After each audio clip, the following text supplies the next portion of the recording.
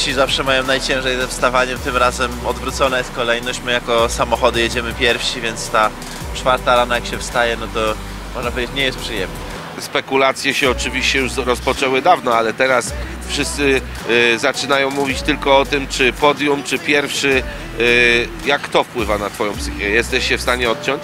Oj, no na pewno trochę trzeba się odciąć, też trochę, no 20 lat się ścigam, więc też trochę po to, żeby, żeby te wyniki osiągać, więc ta presja jest zawsze. No zobaczymy, my na pewno będziemy robili swoje.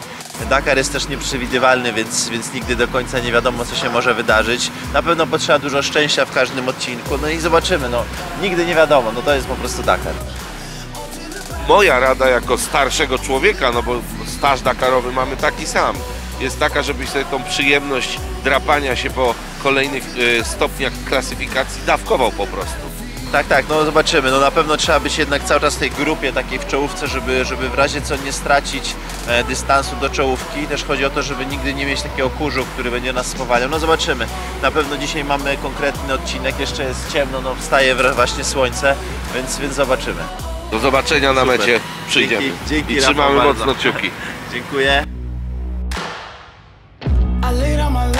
Give up my time, I open my soul, I give it all up for you. Start tuż po świcie to raczej domena motocyklistów. Ciężko Ci się wstawało dzisiaj bardzo wcześnie rano? Nie, cały czas emocje są duże, więc e, szczerze to miałem problem nawet ze snem. Plan jest dokładnie taki sam jak wczoraj, jedziemy e, swoim tempem e, i unikamy przygód. Myślę, że ten e, odcinek dużo pokaże, ponieważ 84 km nie były wymierne na tym rajdzie, to był sprint. Te 350 km pokaże jak wszyscy są przygotowani pod względem fizycznym. Takim razie życzymy Wam, żebyście unikali tych przygód, o których mówisz e, i żebyście łapali taki rodzaj tempa dakarowego, które da Wam poczucie, że jesteście tam, gdzie powinniście być na tym etapie Waszej wspólnej jazdy, czyli na pierwszym Dakarze. Dziękuję, do zobaczenia.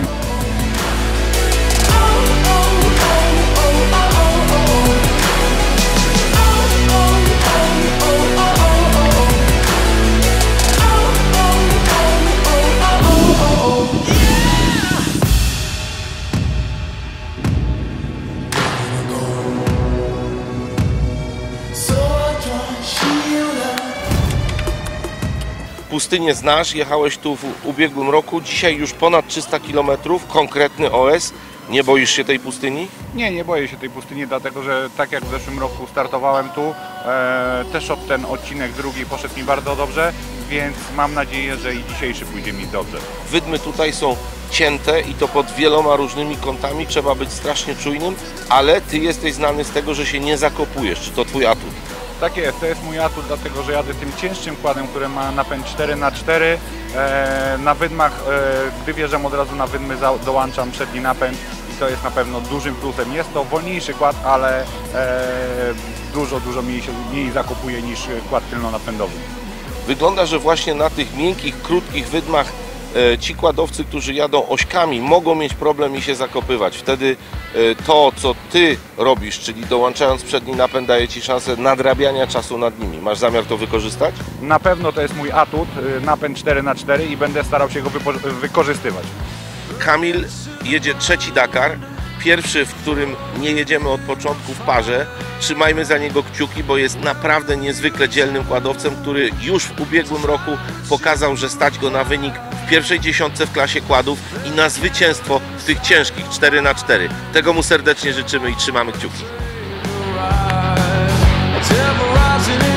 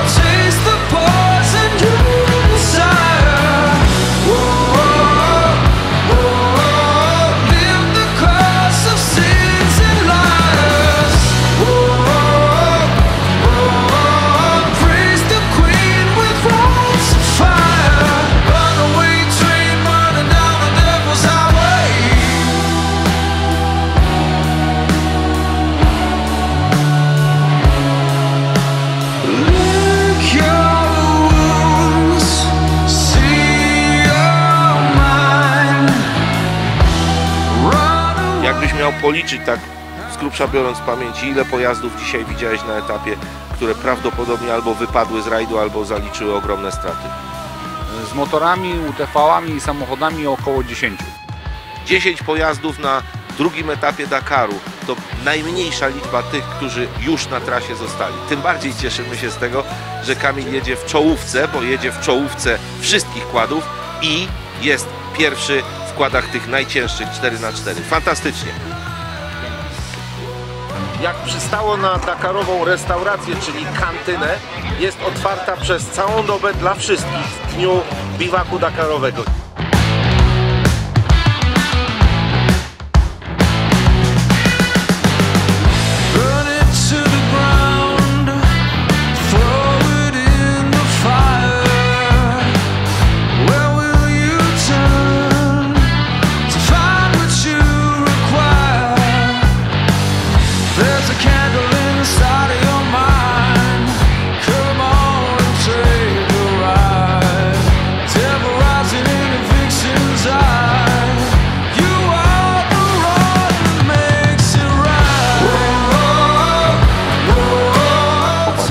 Jest szybka droga, a to jest tutaj principal pist, principal pist, principal pist, czyli główna, duża droga, to on się tu rozpędza mocno i później przepałuje to.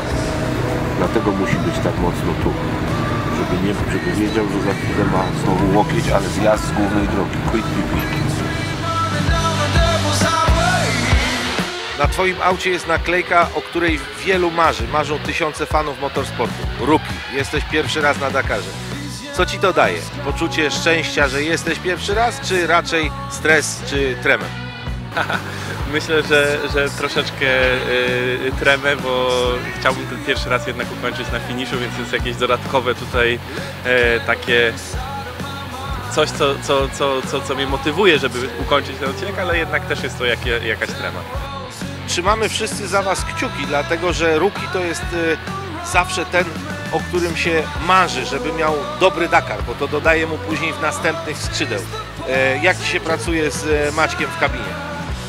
Super, jak na razie y, dogadujemy się bardzo dobrze. E, ta komunikacja jest na tyle dobra, że na razie nie popełniliśmy żadnego e, błędu nawigacyjnego. Trzymamy za Was kciuki, bądźcie ostrożni i przede wszystkim pamiętajcie, Dakar to sztuka powstrzymywania się. Do zobaczenia w ekipie. Do zobaczenia w ekipie.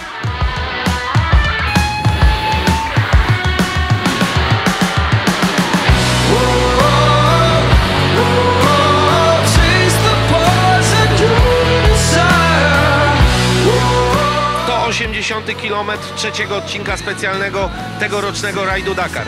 Wjechał następny zawodnik. Właśnie będziemy go widzieli na punkcie pomiaru czasu, który rozpoczyna 15-minutową strefę neutralizacji na tankowanie, uzupełnienie płynów w kamelbaku, ewentualnie drobne naprawy.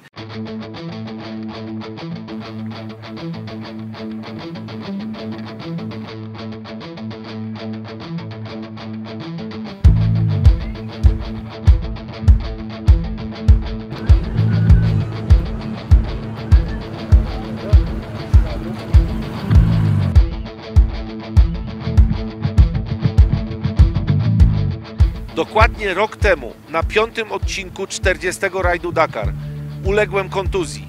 I choć nie wywróciłem się, nie spadłem z kłada, ból kolana był okropny. Mogłem albo wezwać helikopter od razu na pustynię, albo postarać się dojechać na biwak. Dokładnie ten biwak tutaj w Arekipie. Tyle, że do biwaku miałem prawie 500 kilometrów. Jechałem ten odcinek 9 godzin z duszą na ramieniu, bolącą nogą, ale z wiarą, że być może uda mi się pokleić to, jakoś rozmasować i pojechać dalej. W biwakowym ambulatorium późno w nocy okazało się, że są złamane obydwie kości podudzia, kość piszczelowa i kość strzałkowa. Nie było mowy o tym, żebym kontynuował tamten Dakar.